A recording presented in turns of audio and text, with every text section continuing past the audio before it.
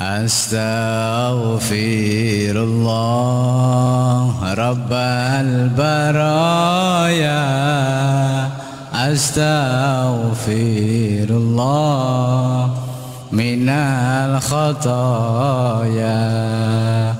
ربي زدني علما نافعا ووفقني عملا صالحا. يا رسول الله سلام عليك.